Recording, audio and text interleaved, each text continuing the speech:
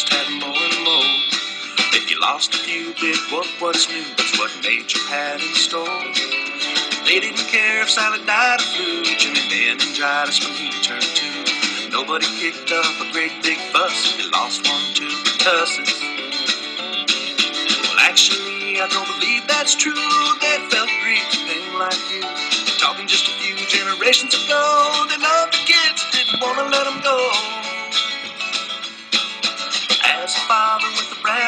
baby, wanna do what's right, nothing crazy. Trying to get him sleeping on his back in the crib, get a car seat and strap him in.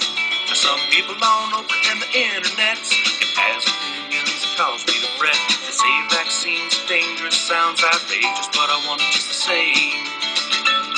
Should I listen to my doctor or heed the invective of a playboy bunny and a pet detective?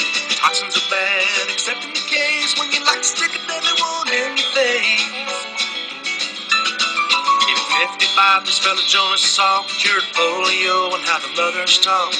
Hallelujah, no more iron lungs. It's safe to go back to the summer sun. Now, 50 years later, new Uttar Pradesh, there was a nasty little rumor about the vaccine's effects. So few kids got it, don't you know? More needless suffering from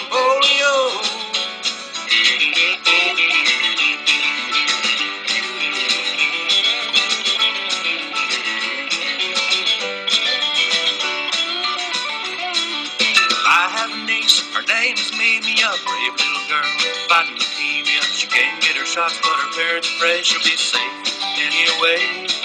You see, it turns out we're all in a herd, like skinny little cows who use tools and words. We all protect Mimi by the things we do. That's what you call the golden rule.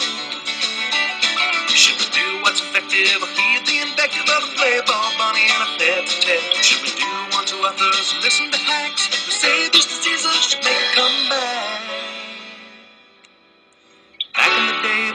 Back in